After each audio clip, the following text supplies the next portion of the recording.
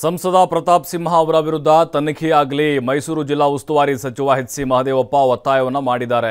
Election ಹತ್ತಿರ ಬಂದರೆ ಒಂದಿಲ್ಲೊಂದು ರೀತಿಯ ಭದ್ರತಾ ವೈಫಲ್ಯ ಆಗುತ್ತೆ. ಯಾಕೆ ಈ ಮಾತನ್ನು ಹೇಳಿದ್ರು ಅವರು ಅಂತ ಹೇಳಿದ್ರೆ ಅದಕ್ಕೂ ಕೂಡ ಒಂದು ಕಾರಣ ಇದೆ. ಎರಡು ಸಾವಿರದ ಒಂದರಲ್ಲಿ ಅಡ್ವಾಣಿ ಅವರು ಗೃಹ ಸಚಿವರಾಗಿದ್ದಾಗ ಸಂಸತ್ ಮೇಲೆ ದಾಳಿ ಆಯಿತು. ಒಂಬತ್ತು ಜನ ಸತ್ತು. ಆ ಕರಾಳ ಇತಿಹಾಸ ನಿನ್ನೆಗೆ ಇಪ್ಪತ್ತೆರಡು ವರ್ಷ ಕಳೆದ ಚುನಾವಣೆ ವೇಳೆ ಪುಲ್ವಾಮಾ ಗಡಿಯೊಳಗಡೆ ಸ್ಫೋಟ ಆಯಿತು. ನೋಡಿ ಇಲ್ಲಿದೆ. ಪುಲ್ವಾಮಾ ಅಟ್ಯಾಕ್ದು ಪ್ರಸ್ತಾಪ ಮಾಡಿದ್ದಾರೆ. ಅಂದರೆ ಎಲೆಕ್ಷನ್ ಹತ್ತಿರ ಬಂದಾಗ ಭದ್ರತಾ ವೈಫಲ್ಯ ಆಗುತ್ತಲ್ವಾ ಅನ್ನೋದು ಅವ್ರ ಪ್ರಶ್ನೆ. ಇದ್ರ ಹಿಂದೆ ಏನಾದರೂ ಗಿಮಿಕ್ ಇರ್ಬೋದಾ?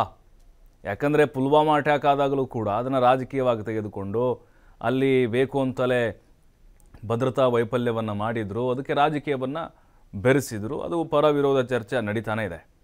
ಅಚ್ಚರಿ ಅಂತಂದರೆ ಅಲ್ಲಿ ಆರ್ ಡಿ ಎಕ್ಸ್ ಹೇಗೆ ಬಂತು ಅನ್ನೋ ತನಿಖೆನೇ ಆಗಲಿಲ್ಲ. ಎಲ್ಲಿ? ಪುಲ್ವಾಮಾ, ಆ ಗಡಿಯಲ್ಲಿ.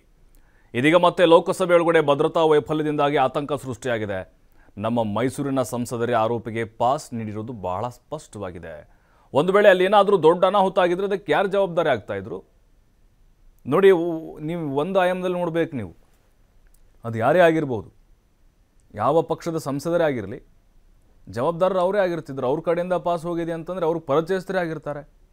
ಭದ್ರತಾ ದೃಷ್ಟಿಯಿಂದ ಸಂಸದ ಪ್ರತಾಪ್ ಸಿಂಹ ಅವ್ರನ್ನ ತನಿಖೆಗೆ ಒಳಪಡಿಸಬೇಕು. ಕೇಂದ್ರ ಸರ್ಕಾರಕ್ಕೆ ಮೈಸೂರು ಜಿಲ್ಲಾ ಉಸ್ತುವಾರಿ ಸಚಿವ ಎಚ್ ಸಿ ಮಹದೇವಪ್ಪ ಒತ್ತಾಯವನ್ನು ಮಾಡಿದ್ದಾರೆ. ಅದೇ ಈಗ ಬೇರೆ ಪಕ್ಷದವ್ರು ಯಾರಾದರೂ ಮಾಡಿದರೆ? ಈಗ ಓಕೆ ಬಿ ಜೆ ಪಿ ಸಂಸದರು. ಈಗ ಪ್ರತಿಪಕ್ಷದ ಎಂ ಪಿ ಯಾರಾದರೂ ಮಾಡಿದರೆ ಎಂ ಪಿ ಕಡೆದವ್ರು ಯಾರಾದರೂ ಮಾಡಿದರೆ ಈ ರೀತಿ ಬಿಡ್ತಾ ಇದ್ರಾ? ದೇಶದ್ರೋಹದ ಪಟ್ಟ ಕಟ್ತಾ ಇದ್ರು.